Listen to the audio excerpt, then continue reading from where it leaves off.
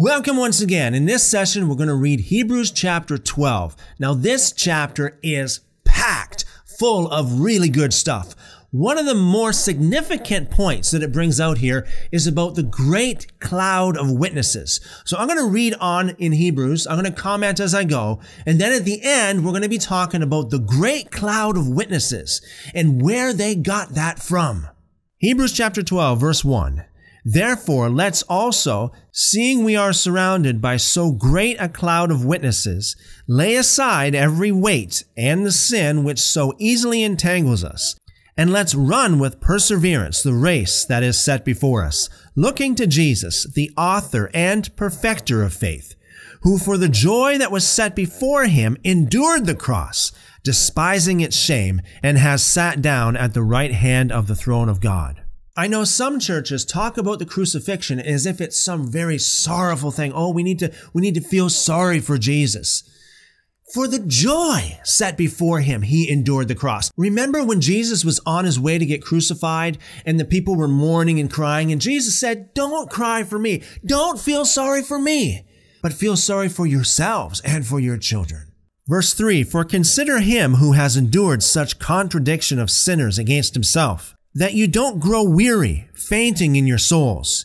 You have not yet resisted to blood striving against sin. What a statement! And more than a statement, it is a challenge. You have forgotten the exhortation which reasons with you as with children.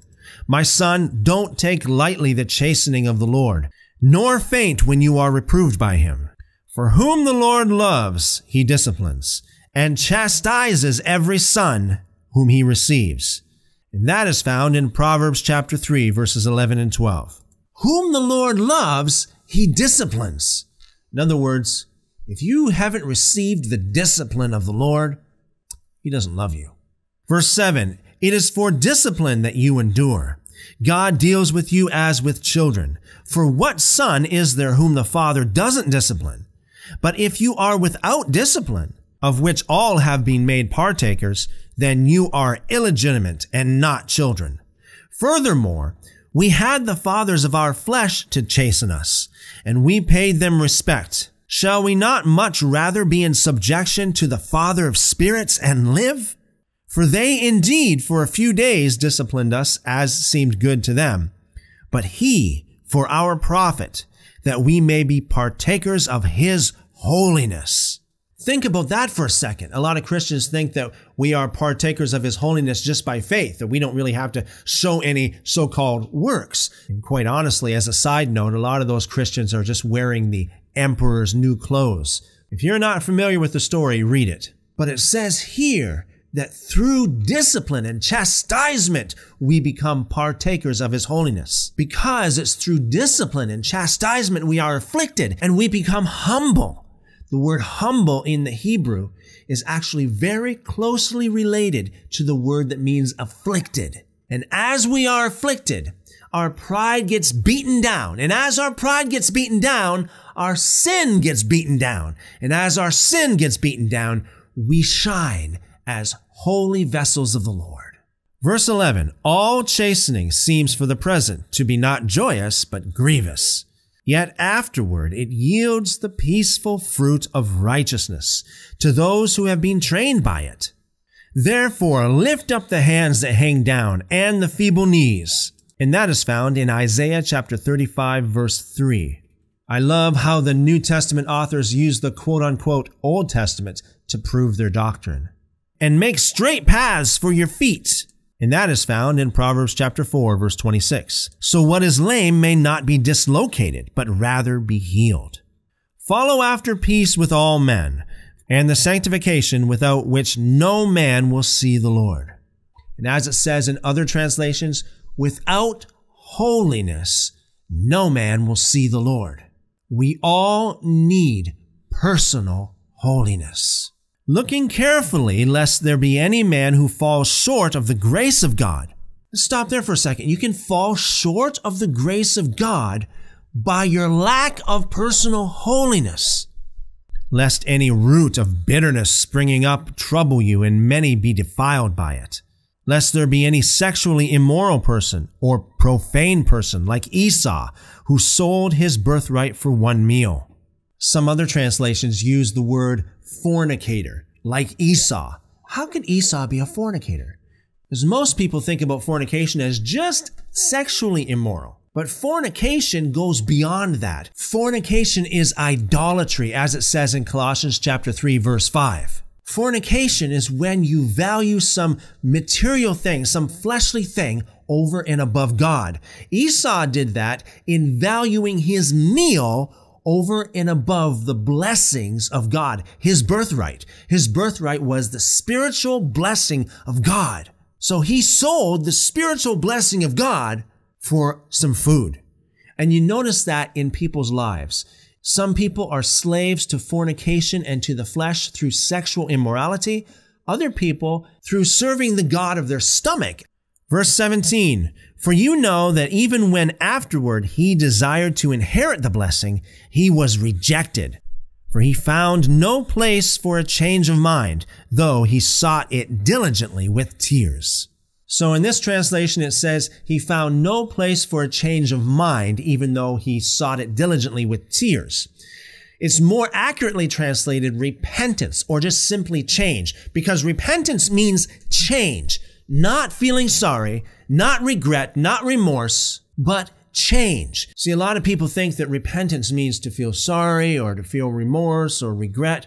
Not at all. It says right here, Esau could not find repentance could not find that change, even though he sought it with tears. You know, somebody might go forward in church and they might be crying their eyes out and everybody say, Oh, look at that. Look how much they're repenting. You don't know they've repented unless you've seen a change in their life. Esau could not get that change. Therefore, he could not get repentance, even though he sought it with tears. Verse 18, for you have not come to a mountain that might be touched and that burned with fire. Now this is referring to Mount Sinai back in the days of Moses and to blackness and darkness, storm, the sound of a trumpet and the voice of words, which they all experienced back in the days of Moses, which those who heard it begged that not one more word should be spoken to them for they could not stand that which was commanded. And it says in Exodus chapter 19 verses 12 to 13, if even an animal touches the mountain, it shall be stoned. So fearful was the appearance that Moses said, I am terrified and trembling. Deuteronomy chapter 9 verse 19. But you have come to Mount Sion and to the city of the living God, the heavenly Jerusalem, and to innumerable multitudes of angels, to the festal gathering and assembly of the firstborn who are enrolled in heaven, to God, the judge of all, to the spirits of just men made perfect, to Jesus, the mediator of a new covenant, referring to Jeremiah 31, 31, and to the blood of sprinkling that speaks better than that of Abel. See that you don't refuse him who speaks. For if they didn't escape when they refused him who warned on the earth, how much more will we not escape who turn away from him who warns from heaven, whose voice shook the earth then, but now he has promised, saying, Yet once more I will shake not only the earth, but also the heavens. And that is found in Haggai chapter 2 verse 6.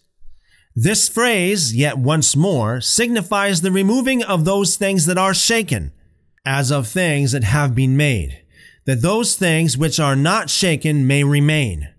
Therefore, receiving a kingdom that can't be shaken, let's have grace through which we serve God acceptably with reverence and awe, for our God is a consuming fire. And that's a reference to Deuteronomy chapter 4 verse 24.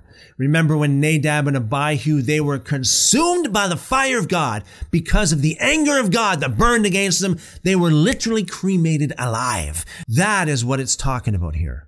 Now, if you saw my introduction to the book of Hebrews, you know that I said that this book is packed full of apocryphal and pseudepigraphal material. This is one of the reasons why I question whether this book was written by Paul, because it's so full of the apocrypha. And we don't see that much apocrypha in the other books of Paul. The theme here about personal holiness and about God's wrath We don't see much of that in other books of Paul.